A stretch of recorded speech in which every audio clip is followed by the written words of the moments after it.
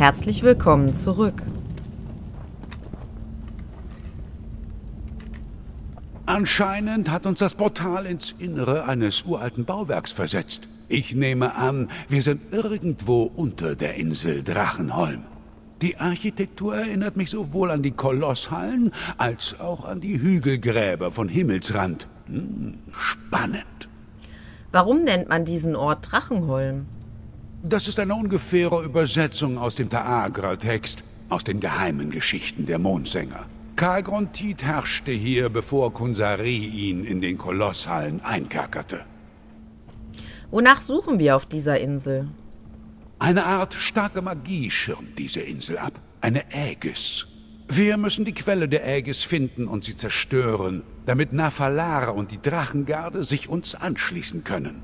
Ohne sie werden wir Karl Grontit niemals aufhalten. In Ordnung. Lasst uns die Ägis finden und zerstören. Alles, was ich über Karl Grontit erfahren habe, stammt aus ein paar wenigen undurchsichtigen Verweisen in den Mythen der Khajiit. Wollen wir doch einmal sehen, ob wir nicht etwas finden, was wir unserem Wissen hinzufügen können, während wir nach einem Weg suchen, um die Ägis aufzulösen. Warum nennt ihr es eine Ägis?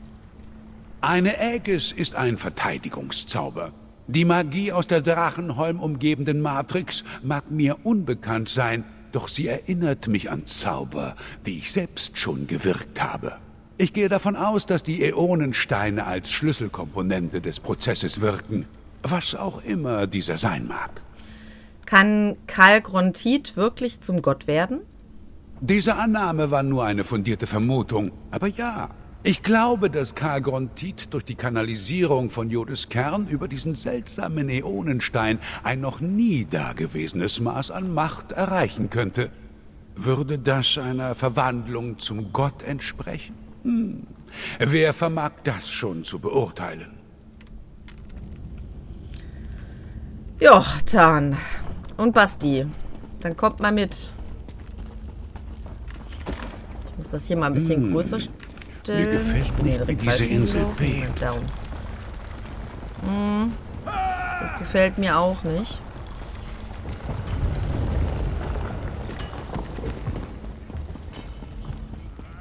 So, Moment. Hier geht's weiter. Guten Tag und auf Wiedersehen.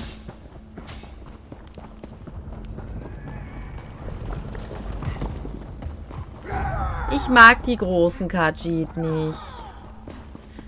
Also ich mag sie schon so optisch, aber ich, äh, ja, kämpfe halt nicht gerne dagegen. Chemiker des neuen Mondes. Das nenne ich mal richtig gute Titel.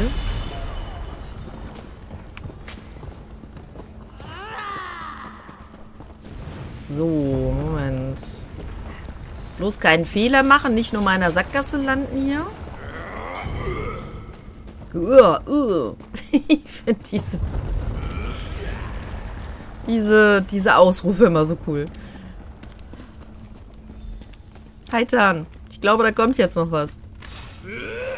Ich kann nicht... Wieso kann ich nicht blocken? Hallo. Darf ich mit dir sprechen, ohne dass jetzt was kommt?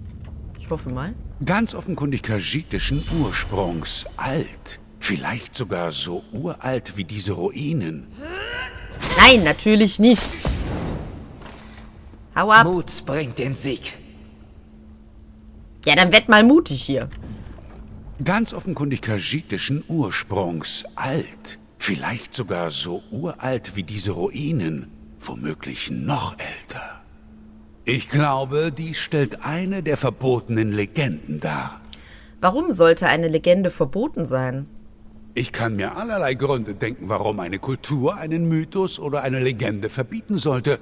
Doch meist geht es dabei um Themen, die zu störend oder zu gefährlich sind, um offen angesprochen zu werden.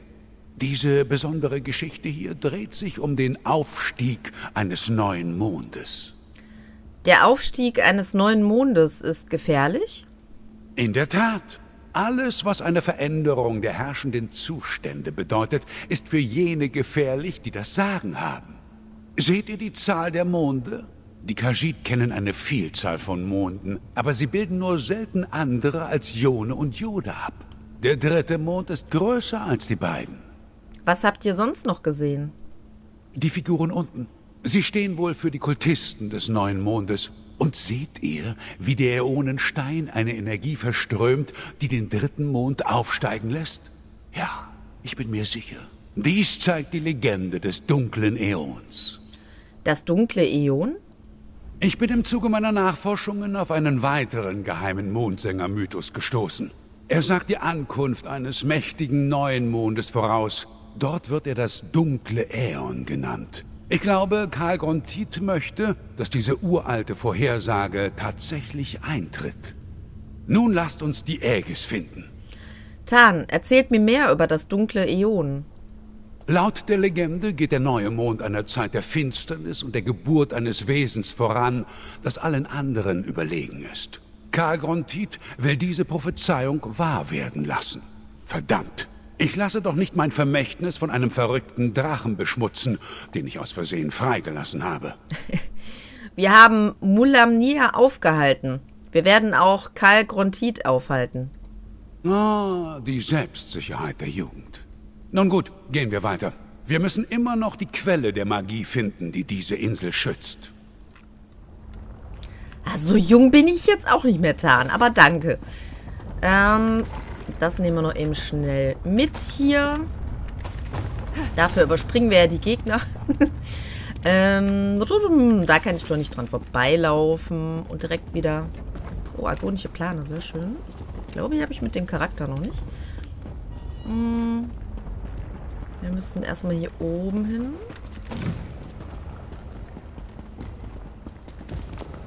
Mal schauen. Audienzkammer. Oha. weiter die Ritualstätte. Karl Grontit will einen Thron am Himmel. Und wenn wir dabei zugrunde gehen. Okay. Stört die Ritualstätten. Äh, wo sind die und wie komme ich da hin? Moment, die laufen da hinten hin. Ich muss da hin. Tan, du sagst wieder nichts. Normalerweise sagst du immer was von wegen. Das äh, hatte ich befürchtet, bla bla bla, lass uns die Ritualstätten stören oder sowas. Heute hat er keine Lust. Na gut, der alte Mann ist auch schon so ein bisschen ausgelaugt heute, kann ich verstehen. Ich bin auch ein bisschen ausgelaugt. Ich habe schon einen dritten Tag am Stück Migräne. Ach, das war das. Ah, schön. Alles gut, Leute, alles gut.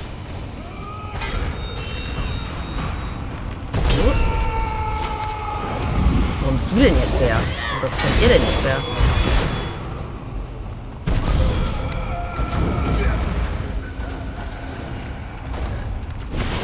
Mit ihm hatte ich noch gerechnet.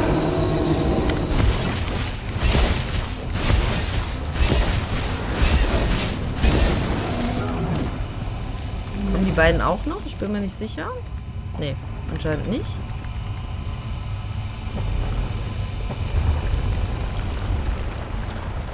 So, das heißt, wir müssen jetzt wieder zurück, ne? Nee, wir müssen hier rum. Okay. Guten Tag. Wo muss ich da hin? Da muss ich hin.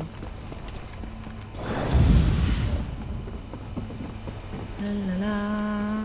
Ich bin nicht da. Ihr seht mich nicht. Ich bin auch nur halb so klein wie ihr. Die sind ja riesig, ne? Ich meine, ich finde die schon ganz cool irgendwo. Ich kämpfe halt nur nicht gerne gegen die. Also nicht, weil sie zu stark sind, sondern weil ich es einfach nur nicht mag.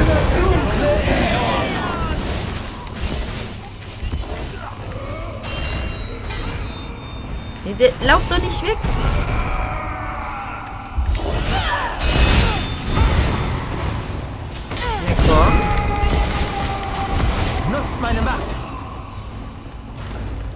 Dann biete mir deine Macht doch auch mal an. Du bist tanken. Ich meine, das wäre jetzt deine Macht, ne? dass du tanken würdest. Aber das machst du jetzt nicht immer so. Ich meine, der ist schon ganz gut. Der hält auch viel aus. Das muss man ihm ja lassen. Er tankt halt nur nicht immer so, wenn ich durchlaufe. Aber ich glaube, dafür ist das Spiel auch einfach nicht ausgelegt. Heilstab würde mir jetzt auch nicht wirklich was bringen. Deswegen, also ich warte nur darauf, dass wir nach Hochinsel kommen, damit ich dann Funke holen kann. Äh, kann ich... Ne, das ist... Wo müssen wir denn hin? Müssen wir hier rein? Welches Ungeziefer Nein! Es, in diesen heiligen Ort hineinzukrabbeln? Du hast mich nicht gesehen. Du wirst es niemals herausfinden. Dann komm mal ein Stückchen hier rum. Oh, ist das blöd. Der steht sofort... Ah, so geht's auch. So viel dazu. Mich wieder ganz wie mein altes Ich zu fühlen. Ich musste jedes Quäntchen Energie einsetzen, das ich aus dem Äonenstein in mich aufgesogen hatte. Und alles, was ich damit geschafft habe, ist, den Drachen zu verwunden und zu vertreiben. Und jetzt bin ich so schlaff und nutzlos wie ein leerer Wasserschlauch. Wir müssen die Quelle jener Aegis finden, die die Insel schützt. Ein verletzter Drache. Es gibt nichts Gefährlicheres, was gleichzeitig auch so vollkommen berechenbar wäre. Er wird sich zu einem sicheren Ort aufmachen, um seine Wunden zu lecken. Welcher Ort könnte sicherer sein als der Ursprung der magischen Verteidigung von Drachenholm? Der Einsatz dieser Energie scheint euch geschwächt zu haben. Eure Beobachtungsgabe versetzt mich immer wieder in Erstaunen. Ne? Diese Energie gab mir Kraft, doch sie stiftete auch Chaos in meinem Körper. Ein sterbliches Gefäß war nie dazu gedacht, eine solche Macht in sich zu bergen. Da sie nun wieder fort ist, bin ich nahezu völlig ausgelaugt. Folgen wir dem Drachen und finden wir die Aegis. Ich bin mir nicht sicher, ob wir das Ritual rechtzeitig aufgehalten haben. Da liegt eine Erschütterung in der Luft. Etwas wird bald geschehen. Nun kommt, finden wir die Quelle für die Verteidigungsmagie der Insel, solange wir noch können. Könnte die Drachengarde nicht dasselbe Portal benutzen, das wir verwendet haben, um Drachenholm zu erreichen? Die Menschen und die Khajiit könnten das schon, aber Nafala nicht. Wir brauchen diesen Drachen und das Band, das ihr miteinander teilt, um Karl Grontit zu besiegen. Solange es die Aegis gibt, kann Nafala Drachenholm nicht erreichen. Wir müssen sie beseitigen. Schon äh, krass irgendwie darüber nachzudenken, dass ein Drache einen anderen Drachen nicht erreichen kann, weil der einen Schutz um sich rum hat. Wieso müssen wir jetzt wieder raus? Ich denke, wir müssen hier rein. Ähm, darum. Das nehmen wir doch auch nochmal eben mit hier. Da ist nichts drin.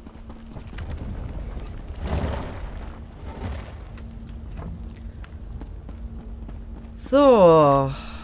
Ähm, ich bin mir übrigens nicht sicher, was noch kommen wird. Deswegen werde ich mal vorsorgehalber da, vorsorgehalber noch mal ein bisschen Bufffood nehmen, weil ne, Endkampf mit einem Drachen, das könnte unter Umständen ein bisschen schwieriger sein. Ich habe es jetzt nicht mehr so im Kopf. Hallöchen, guten Tag. Nett, Sie alle wiederzusehen. Ich muss dann jetzt wieder gehen.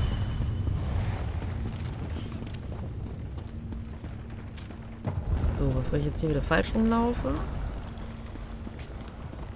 Da hinten müssen wir durch. Ja. Nett, dass ihr mir ein bisschen einheizen wolltet. Hier ist es auch ein bisschen kühl in diesen ganzen Gemäuern. Da habt ihr schon recht. Oh, komm. Ja, genau. Och, ich hasse diese Betäubungssachen, ehrlich. Die ganze Zeit kommt man da normal durch. Lauf bloß keinen Millimeter weiter.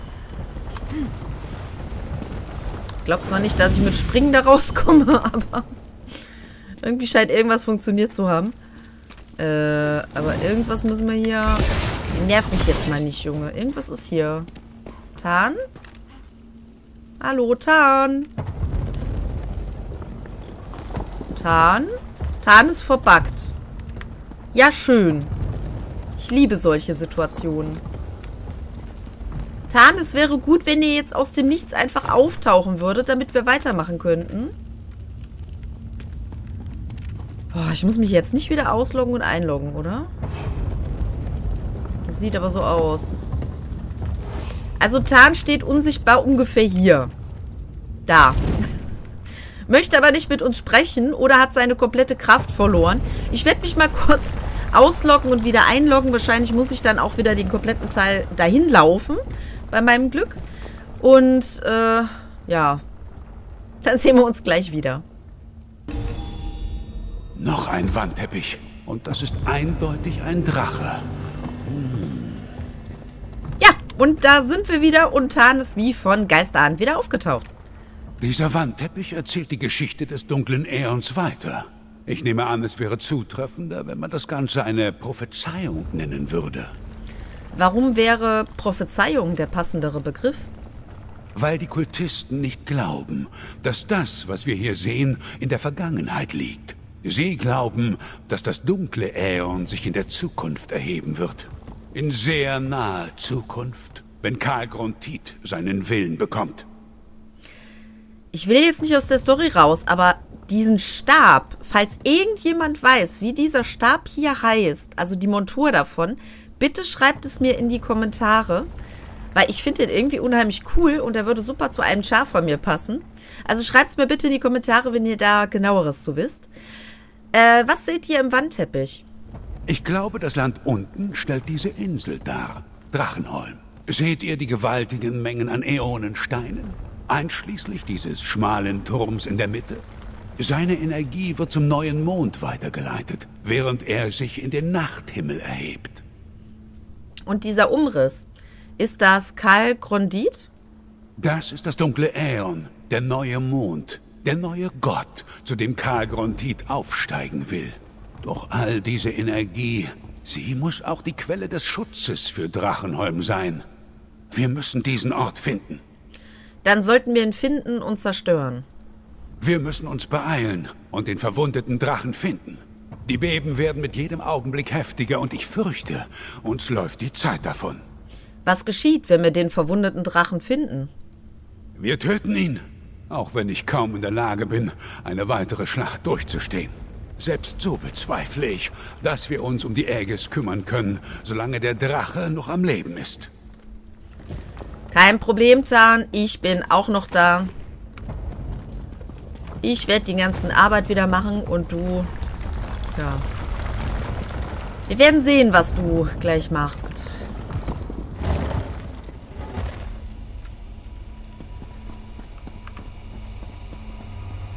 Da oben! Das ist Karl Grontit!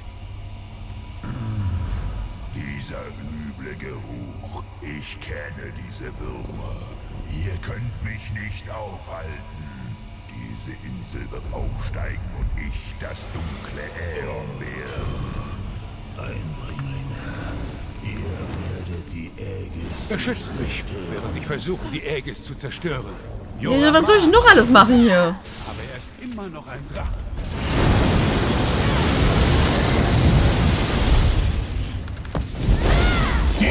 So da! Gesundheit. Basti, pass auf dich auf.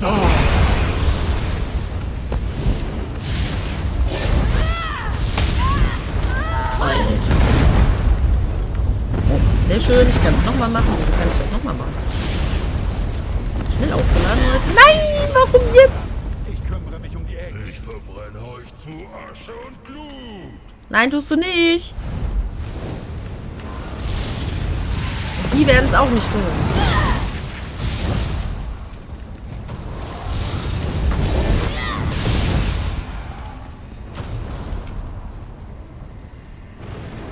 Hallo? Komm runter, du feiger Hund, du. Uh. Ich hätte ihn hüten können. Lenk den Drachen weiter. Ja, kein Thema, Tan. Ich lenke ihn noch ein bisschen ab.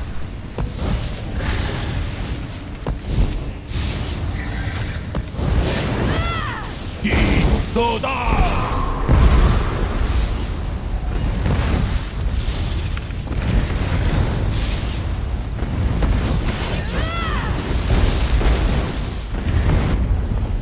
Hau doch nicht immer. Ich hasse diese Phase. Äh, ich wollte sagen, eigentlich sollte jetzt hier noch was kommen. Es ist auch da. Hallo? Was macht mich hier gerade so? Was, die stelle ich in den Kreis. Ich weiß nicht, ob du drin stehst. Er steht natürlich nicht drin, naja, klar. es war so klar. Komm schon. Ich muss dich umbringen. Komm runter. Los. Bei Fuß. Hallo? Drache? Hallo? War ich zu schnell? Oh, bei mir ist ja alles... Ich hätte mich vorher mal reparieren sollen. Das habe ich letztes Mal schon gesehen und ich habe nicht dran gedacht. Hallo Drache. Es wäre schön, wenn ich dich mal umbringen könnte. Könntest du mal runterkommen, bitte? Dankeschön. Mein Gott. Jetzt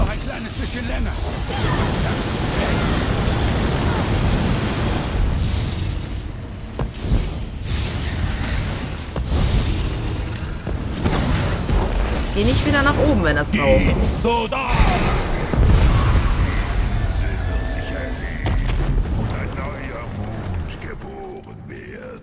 Ich habe die Aegis zerstört. Aber jetzt müssen wir hier raus. Ich folge dir, Maltan. Alter, was macht der da? Ich habe mich um die Verteidigung der Insel gekümmert. Aber was Karl Grontit auch tut, es wird stärker. Da müssen wir ihn aufhalten, Tan. Bei den Knochen des Drachen. Wir schweben. Was? Diese Ruinen halten das nicht mehr lange aus. Wir müssen hier raus. Das ist jetzt eine Schwebeinsel, okay? Darf ich hier durch? Eine Sackgasse. Es bleibt keine Wahl. Ich öffne ein Portal zum Festland. Schnell. Es wird mit den letzten Restkraft rauben, es offen zu halten. Findet Kamira und Saisahan. Wappnet die Drachengarde für einen Angriff. Ich bin bereit, wenn ihr zurück seid. Tan. Uns bleibt keine Zeit. Benutzt das Portal. Findet Kamira und Sai. Ich halte mich bedeckt, bis ihr die Drachengarde zurück auf die Insel bringt. Habe ich Zei gesagt? Ich meinte Tan.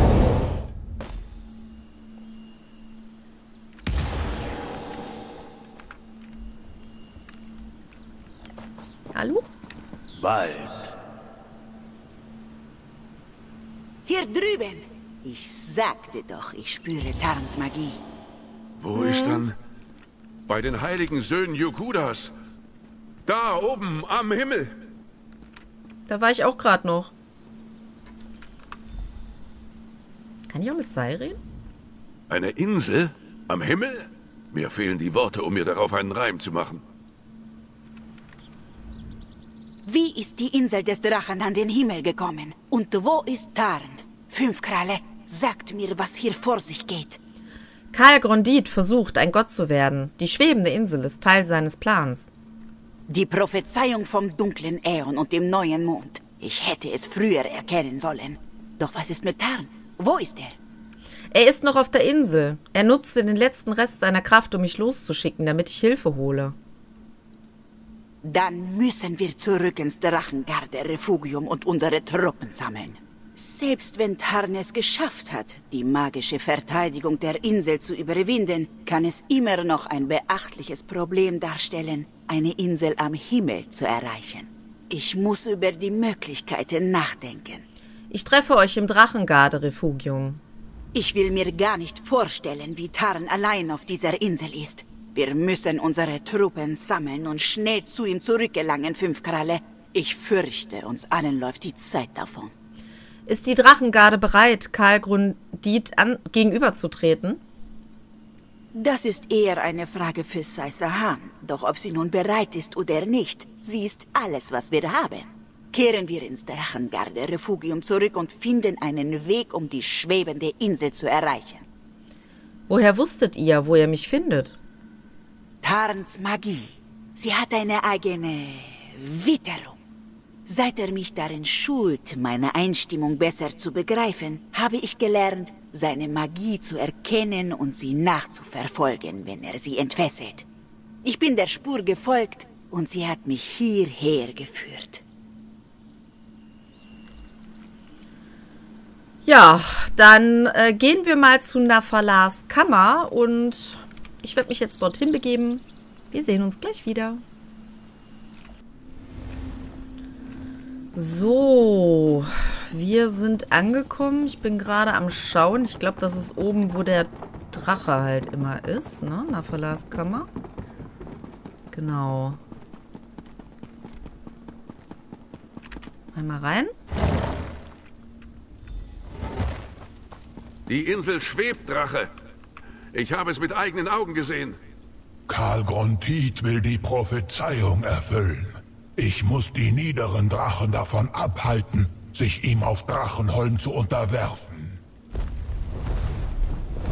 Hey, er kann doch jetzt nicht wegfliegen. Was machen wir jetzt? Wie sollen wir Drachenholm erreichen? Ich könnte versuchen, ein Portal zu öffnen. Aber ohne Tarns Anleitung weiß ich nicht, wo ich überhaupt anfangen soll. Ach, das schaffen wir schon. Dieser Drache hat keinen Funken Anstand, einfach fortzufliegen ohne ein Wort des Abschieds. Ohne ihn oder Tarn werden wir unsere eigene Methode aushecken müssen, um Drachenholm zu erreichen. Aber bei den Schwertheiligen, ich habe keinerlei Ahnung, wie die aussehen könnte. Es muss einen Weg geben, um die schwebende Insel zu erreichen. Und wir werden diesen Weg finden. Irgendwie. Ruht euch fürs Erste aus. Und nehmt dies für eure Mühen. Vergesst nicht, ihr konntet Karl Gruntits Plan aufdecken. Und ihr habt Drachenholm seinen Schutz genommen. Wir sind einen Schritt näher dran, das hier zu beenden, meine Freundin. Wir haben eine erfüllte, äh, einen erfüllten Torso vom Set Marodeursrast erhalten und einen Fertigkeitspunkt. Ich weigere mich, mich von einer schwebenden Landmasse behindern zu lassen. Die fliegende Insel könnte ein Teil von Karl Gruntits Plan sein. Doch sie könnte auch bedeuten, dass er etwas Abgeschiedenheit für seine letzte Anstrengung bei der Verwandlung zur Gottheit sucht.